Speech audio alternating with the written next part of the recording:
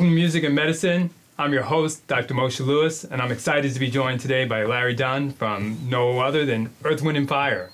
Musical director for years, and, and the awards, I mean, the accolades certainly uh, precede you. They're so well known. But I want to kind of roll the clock back and go back to the beginning.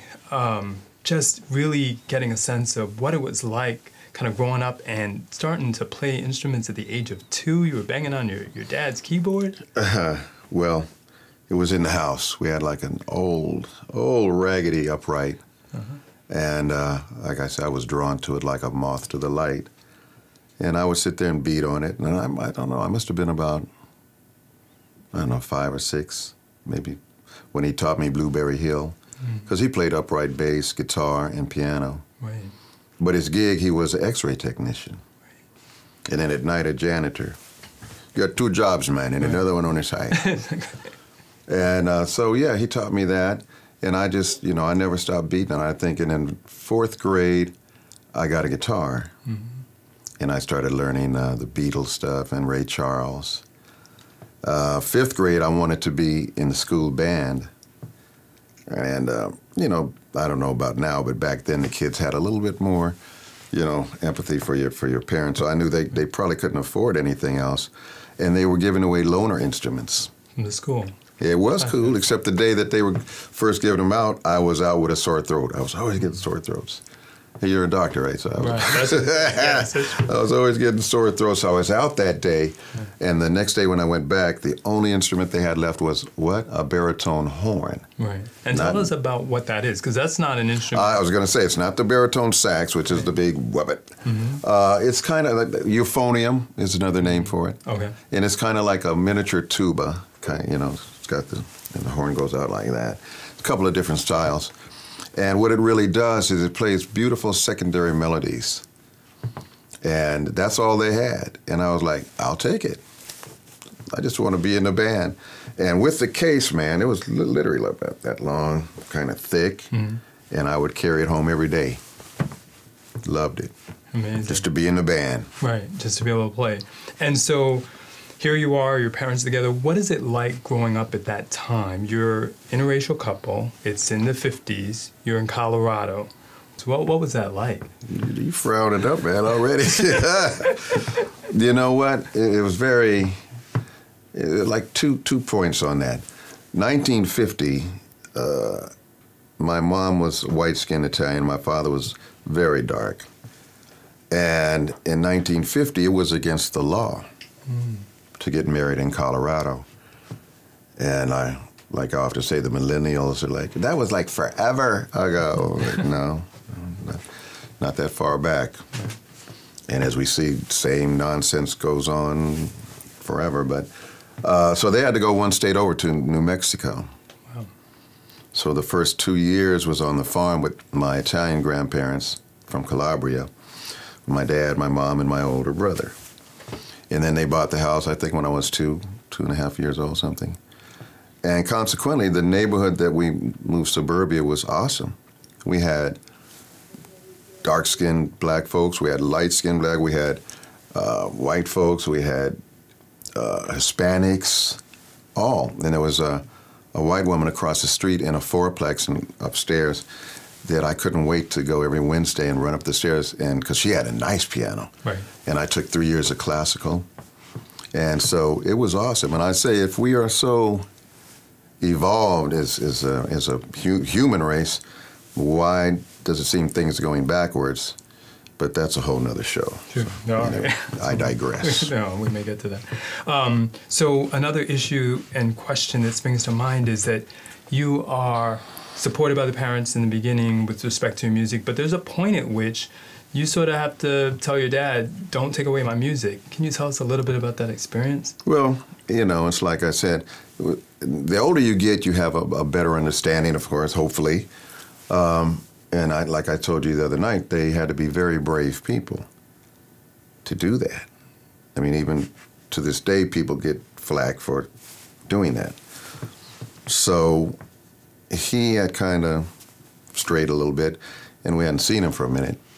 And so he showed up, and I had a gig to do that night with Philip Bailey and Hilliard Wilson, the guy that's still my bass player, plays with he plays with everybody, but and he had that thing, you ain't doing the gig. And mom gave that look like, hey, you're the one, so don't come home with the with the attitude.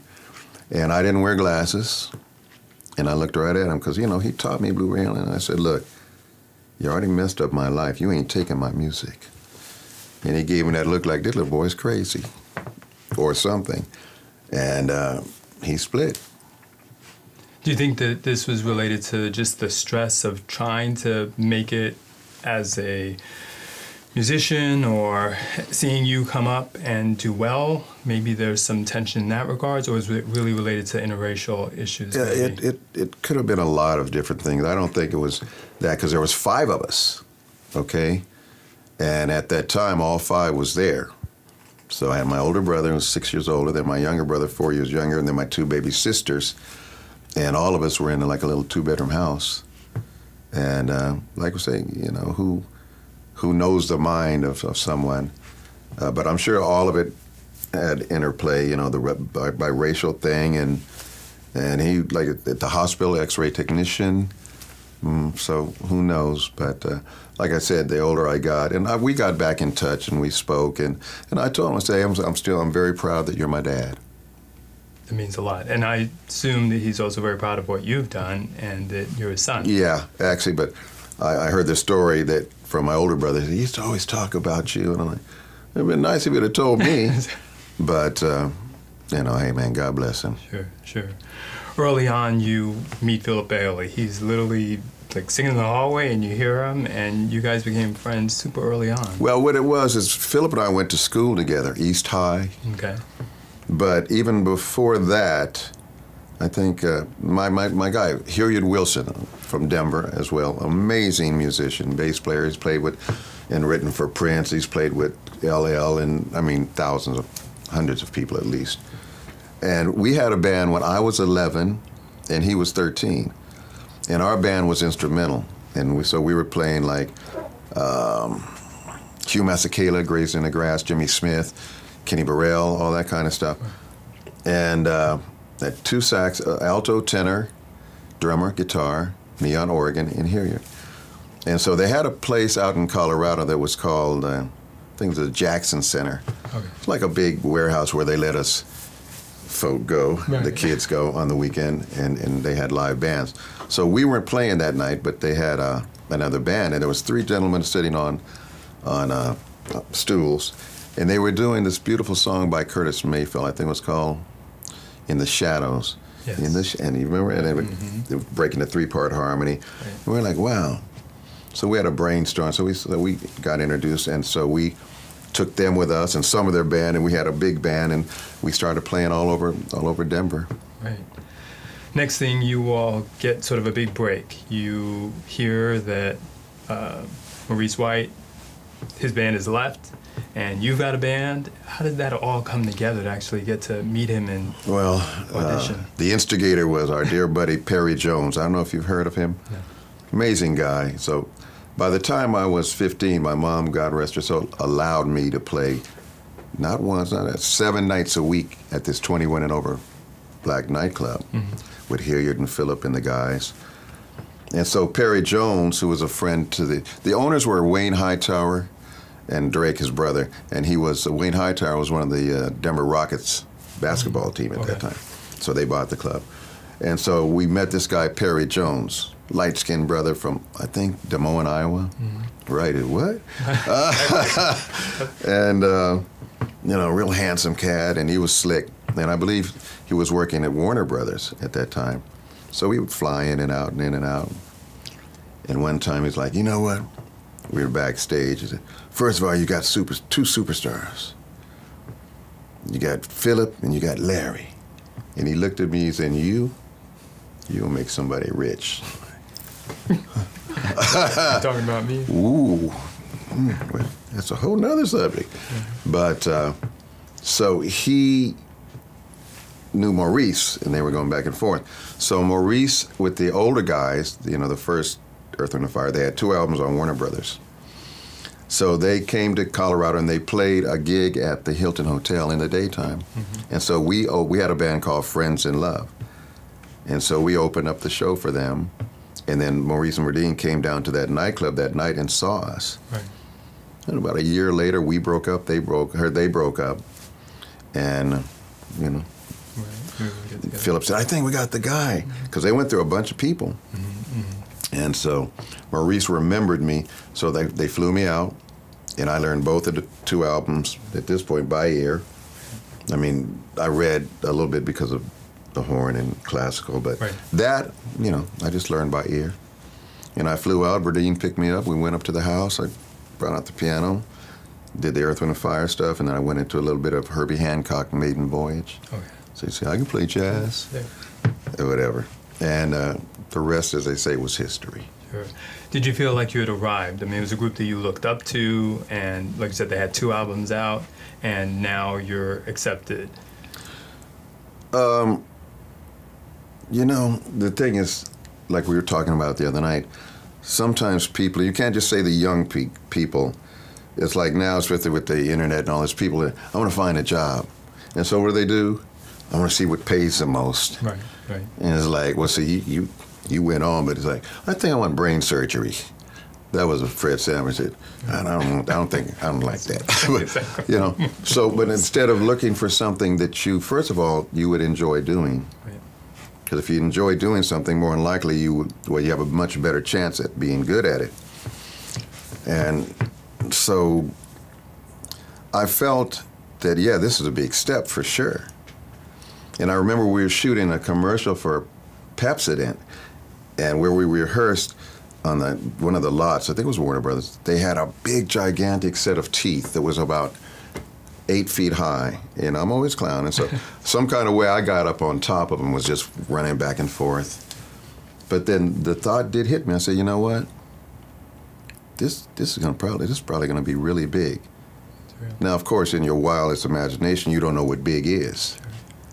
And uh, but I told people as we started traveling, and then I go to the East Coast and stuff, and and a couple of times the girls would be, oh, they sound like cowboys, and we were making fun of their accent. Right.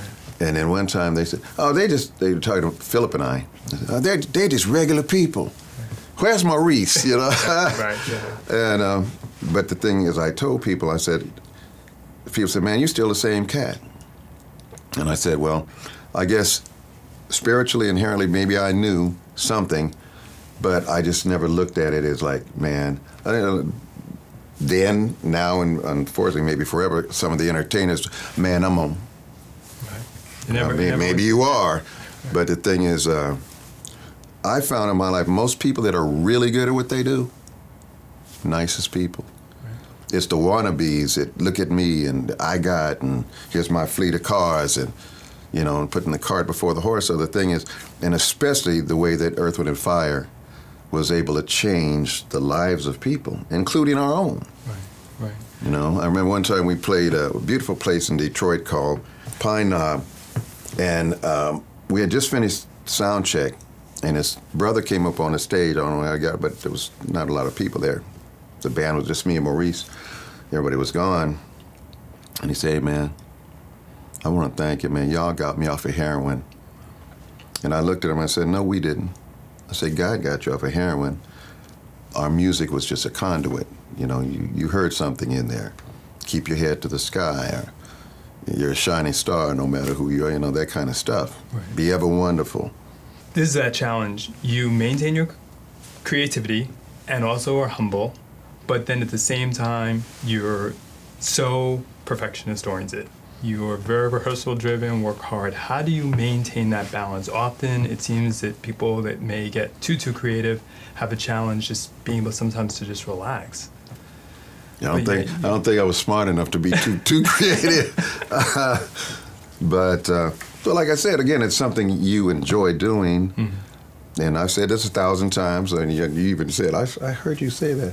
And I will continue to say that. You take away Bill Whitten with those beautiful clothes that he designed, mm-hmm. Clive Davis and Columbia Records, the big machine, George Faison with, with the chore, you know, the dancing and choreography and, and the bright lights and the lasers and all of that.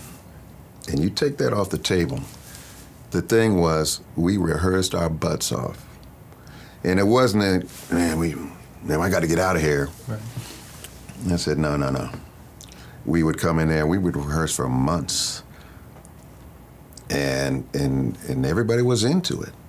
You know, it's like after I left the, well, not people say, when did you leave? I didn't leave the fire. It's just, it kind of disbanded. And when Maurice put it back together, we went something else. I had opened up our own corporation, my wife and I started doing stuff for Japanese television. And so just, you know, some things and the good thing is that the music never ends, and people still, it's on generation after generation after generation. The songs live on. But uh, it is, it's a balance, but like I said, you have to make your choices. If you, A lot of people, they want to be famous, and now we're, we're in the time where people want to be famous for killing somebody. I mean, any it, there's no bars hold anything you see these these high speed chases every day. And it's like you look. I know these are the IQs in the high single digits. Right. you know the helicopters are you're gonna get caught. Right. But I'm sure that man, that's me, man. You get into jail, man. That was me, man. On the road, what are some of the kinds of things that you all ran into or that you had to sort of face trying to keep the group together or dealing with the stresses of an intense tour schedule? Well, uh, I told you we watched that Carpenters thing the other night, right? And after they, they had won the second Grammy or something close to you, and people were talking at Yin Yang, man, they, they made it overnight. Nobody makes it overnight. You know, you just you just don't know what happened before that. And so when we first, first of all, in, in L.A., nobody knew who we were. And they they had a couple of lightweight hits. You know, they had "Fan the Fire" with you know the other guys with the Warner Brother record, and Sherry Scott. Uh, I think about loving you. So we learned all that. And then we did the first album after with the new group with me and Philip and Ronnie Laws, Jessica Cleaves, Roland Bautista, Ralph Johnson, Verdine, um, and Andrew Woolfolk. And I think, yeah, that was the first one. And then Head to the Sky. So we started touring, I think it was about 73. And uh, we would fly to the East Coast. We'd rent three station wagons. And there was nine of us, right? right. Nine of us. it was nine of us. So we take turns driving. Mm-hmm. And uh, we were doing the college circuit, right? Mm-hmm. So by the time you get back to the hotel at 10 o'clock, back then, NBC, ABC, CBS, was there was no TV. Right. It was that, that, that pattern sign with the Indian right, on it. Right, and so your best friend was your ghetto blaster. and Denny's, where there was nothing open. You're in North Carolina, there's nothing open. So you're praying that there might be a soda machine with maybe a, some cookies or some chips or something, and that was it. And so then, after we did that for years, then we went to uh, to Europe and in Japan, and so it built up. We we built, you know, from ground up. Right, literally. And so by the time we were doing by the, about the third year, whatever, especially after that's the way to where you're doing arenas, and then you know people see you in a limousine, and there's catered food, and you know you're doing about 200 something gigs a year, and you're flying, and and people say, well, what a luxury. But at a certain point, and I'm sure you know this, certain things are no longer a luxury. When you're working right. your booty off and, and you know getting not a lot of sleep and all that you need the, the very least you need some decent food, right? And you need some rest, and you know, you don't need to be yeah, trying to drive right, when right. when you've done like uh, you know ten gigs in two days or whatever. I remember we played at the uh, place in Philly. I can't remember the Uptown Theater. It's all coming back. And I remember we had we did five gigs in one day. Wow. Yeah, that's what I said. So Maurice takes ill how does the group sort of find out about that and, and sort of deal and decide how you'll continue to manage John despite uh, him dealing with Parkinson's? Well, by that time, by the time I personally heard about it, the the original group had disbanded. You know, I think the the last tour with the real with the main member, they call it the Classic Nine, uh, was 1982, and uh, Al had left, so Roland Bautista came back because he was on that first Last Days and Time. But outside of that, it was the one before that was with Al, and then the last one was with Roland, and uh, and there was nothing happening for a long time. And then Reese tried to put the group back together in '87, and Al and I declined. That's that's in his book, and uh, so he put together a group. He had Sheldon Reynolds and he had Sonny Emory and different drummer and different stuff and they were out touring, and Maurice looked great. But then we started hearing that the Parkinson's had was really taking over, and I don't remember what year it was when he finally stopped touring. I think it was uh, no, it was sometime in the '90s, and he kind of handed it over to Philip. And God bless him, because I said they still go all over the world. Well, they did before oh, Mr. COVID. Right. Uh, and play our the, you know the original material and and keeps the keeps the thrust going. Sure. This whole concept, you brought it up with that man that said you helped him get off of drugs, of, of really trying to help people and, and heal. Um, do, you, do you sense that the ability to maybe bring two races together and then also just just elevate positivity was really something that, that helped the whole crossover piece of the group? Oh, absolutely. I mean, back in 71, I think it's when we got signed by Clive. And I remember at that point, Columbia Records was in the red. And then a few years, not a lot, a couple of years down the road, between Santana and EWF, we brought them out of the red. Wow. And I remember we played a gig at the Spectrum. So I remember we played there a few times. I mean, the first time was when we were opening for Gladys Knight and the Pips and the Four Tops, and the, the headliner was Gladys, Four Tops, and we were the openers. And that's like I say, nobody in LA knew us, so we're in the East Coast, and they turned down the lights. Earth, man. and everybody, uh, 20,000 people were shaking the green things. Right. Hey, man, I was like, come on. She said, were you scared? I said, no. You see 20, and like I said, because we're, we, we know what we're doing we're ready to go. So that was awesome. But then, so we came back later when we were the headliners. And I remember some clown, excuse me, mm-hmm. wrote this article um, because that's the only thing he could find. There was a little scuffle across the street at the 7 Eleven. But we were the first group of any color or nationality to play the spectrum and had African Americans, whites, Latins, Asians, the whole gambit, and there was no issue.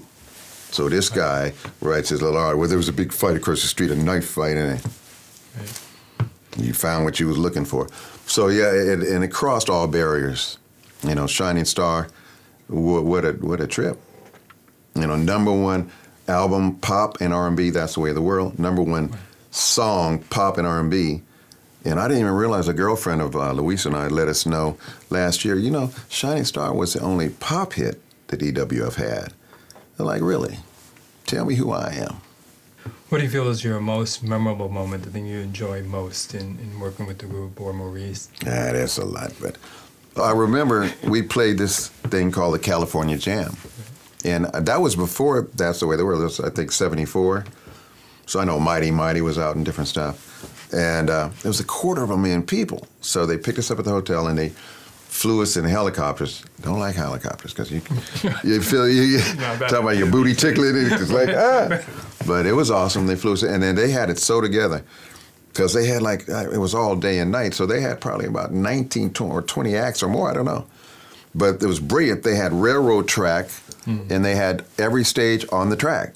So when they would go from one band to the next, they would just move the stage. Right. I mean, it was very well done. And so, yeah, you know, I, I, think I was about 19 or something then. and and you look out there, and at this point, there's no stage fright for something like that because there's so many people it doesn't even register. Right. You know, and I remember Verdine doing a bass solo, but a lot of the people they, they had never seen us or heard us, and of all nationalities, and they were like, "Who are these guys?" And we were dressed all funny. but uh, yeah, that was awesome. Um, last question, promise. What key message do you feel that you've tried to communicate through the music and through your creativity? Uh, it's, it's been the same, never changed. Whatever you do, put God first, have integrity, and and respect. Respect people.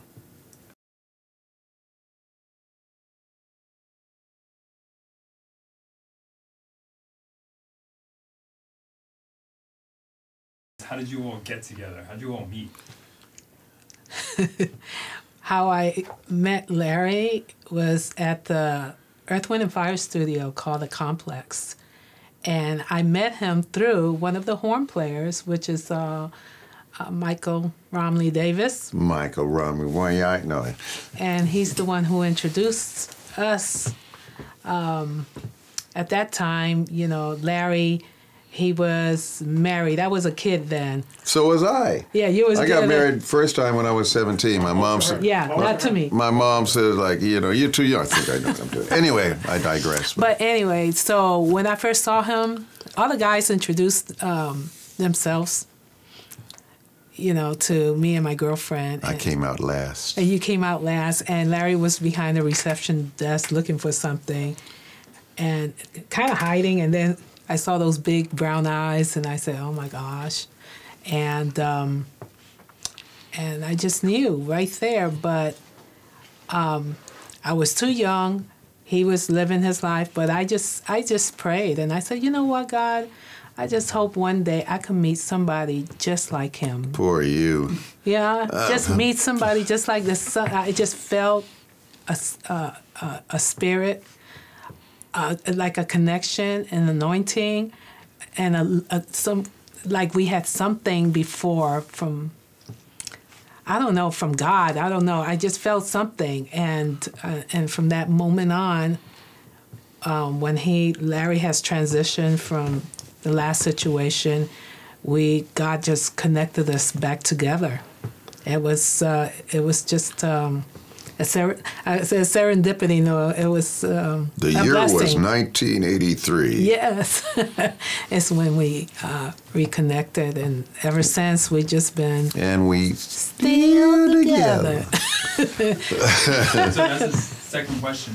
How? What do you think the secrets are? What would you advice that you give to others to stay together through thick and thin and up and down? Because it's so easy to just quit and call it a day. Well, I think you know. Actually, like people say with a lot of stuff, there ain't no secret. Remember they talk the old adage, and I say this almost every week, right? The reason old adages become so is because they're true. Right. And so they're the one that says there's no um, secret to success. Two words: hard work. So that, of course, hard work, but also it's a matter of respect and and of course, you know, I remember uh, dear Fred Price, a wonderful pastor who I t- took his cassettes all over the world when I was a kid. All of us, me, Philip, all of us. He just passed a few weeks ago, but he used to say, "Hey, man, you know, we could do, we have rights." And he, I remember he said it. I didn't say. He said, "If you don't look like Godzilla, you don't have to marry Godzilla." and so the, the good thing is that that's why there's all different types of people because with you know like with Africa there's a certain look. With European there's a certain look. There's just different looks. And you whatever fits your fancy is fine. So obviously she fit my fancy and she's not wearing glasses so she I, I fit her fancy. I love his sense of uh, sense of humor, and the the main thing for me um, is the spirituality part that that's really important for me, and um, that you know we have each other's back and and where we encourage one another and do everything with love You may there are some things you may not like about your partner. There may be some things that you love about your partner. You work it out as a couple, and you grow in those things, and just lift each other up. That's the main thing. Is just love each other, no matter the good, the bad, and the ugly. You work it together and have each other's back. Like I was telling the doctor, I said, look, Yeah. you know, people just get selfish, you know. But I said that that's a that's a different kind of theory that, you know, you know, she just don't make me happy no more. I said, wow, I never realized that God put somebody on this very earth with their main gig in life to make you happy. You know, so nobody's perfect. No. Uh, well, no. Nobody's perfect. But and the thing is too, her sense of humor. I mean, she she's out there. makes She, she's a. New Yorker, man. So she's out there, and you know, with her her Cuban. Her father was a teacher in Cuba, and her mother was Puerto Rican. So she got that hot, you know, like I love it when the veins in your neck bulge. But uh, but she's very, you know, she seemed very mild mannered, but she she hot, you know. So we got together. I heard her singing, and she had did some stuff with Skip Scarborough, amazing guy that wrote "Would You Mind" and "Masquerade" for Earth, Wind, and many others. And uh, she was too young. Her mother, "No, you ain't going nowhere, and she was kind of shy. But I heard her sing. I said, "Look, you should really work on that." And uh, we did a little demo, and I was like, "Wow!" I said, "Look, so you can do that, or you can do this. Work for the man. You know, doing it." And uh, she's like, "Okay." And now, like I said, she's worked with Ronnie Laws, uh, the, um El Chicano, Different people. on and on and on and on. And then, like I said, we had a ball doing all those commercials, and her voice was like a chameleon. You know, she did the opera thing, she did different stuff. She got a low range or a high range, and we have fun doing that. You know, as well, doing the music together. But a lot of times, she's so brilliant because she does all the corporation stuff. She's got like a, a, a thing about the size of this whole thing here that's full of ledgers that because she makes copies of everything. She knows the numbers, so it's amazing. You know, we both work and uh, complement each other. And our main thing, like my grandma said, no matter what you do in life, put God first. Yes, and pray for each other. No matter what you go through in life, and if you are, you know, going through situation, family situation, you know, pray for the family, pray for each other, and lift each other up. No matter what, you know, um, you may go through your your battles, but God fights your battles. Nowadays, we pray for the, Yeah. pray for everybody. pray yeah, for the world. pray for the world. Yes. It's, uh, it's a lot going on. Yes. So I'm very blessed, very blessed, and and I pray for this. I, I said a long time ago, I said, God, send me somebody who has a heart, who is spiritually grounded, and I said somebody who don't like sports. I'll be. but he does. I like we, yeah, sports. played. She beat me a couple times with heels on when I was playing in, uh, basketball up at Indigo Ranch. And, you know, the man, well, look, I was just tired. I mean, but, uh, But we have junkies out there who are just all day with the Yeah, TV. and we like sport. sports, but- we love but sports, I'm but, not, it's just you know. not a how you say addicted fanatic. fanatic. No, I told my brothers, brothers-in-law in Denver years ago because they screaming at the TV like Al Bundy with there nothing else on. There was Little League, and I said, "Look, see all those guys up there with the shorts?" And I said, they're getting paid. we still working on ways for us to get paid." Yeah, And but uh, just so happens, music is how we do it.